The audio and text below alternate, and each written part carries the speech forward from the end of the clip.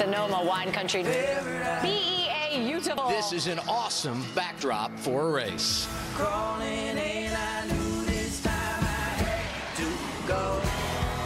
are the kings of the road as we're calling them. The stars are out. It's a perfect day for racing.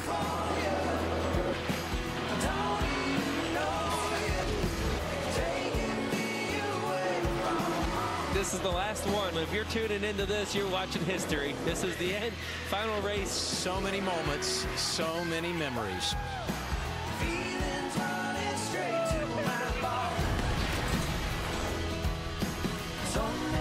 This afternoon, Fox NASCAR wraps up 10 years of coverage in the NASCAR Xfinity Series. We're live in wine country, Sonoma, California, and Sonoma Raceway. Today, it's the Zip Buy Now, Pay Later 250.